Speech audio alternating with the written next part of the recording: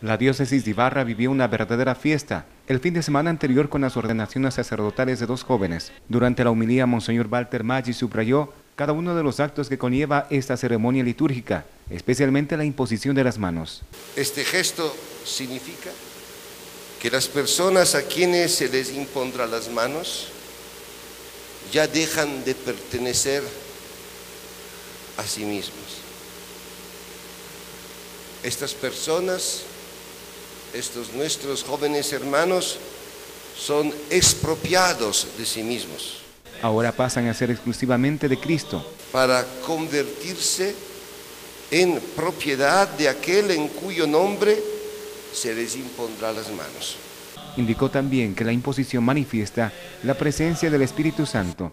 La imposición de las manos significa eficazmente el don del Espíritu Santo que definitivamente los configura a Cristo.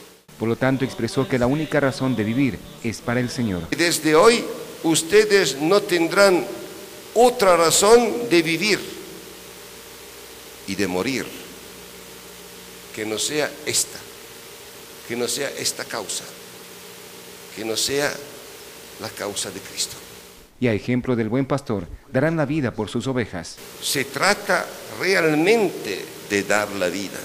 Esto significará exactamente morir por la causa de los que Cristo ha asumido como su propia causa.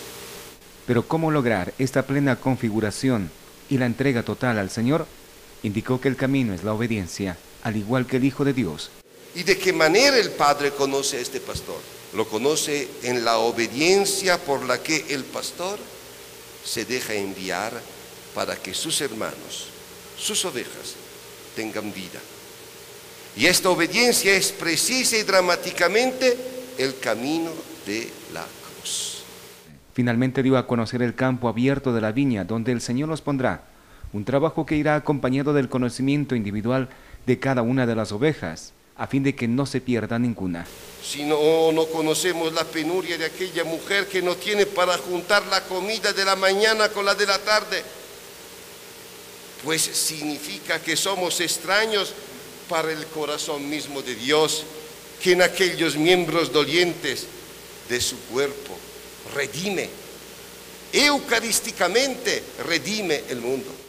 Con cámaras de Galo Vinuesa, Germánico Guamán, Prisma Informativo.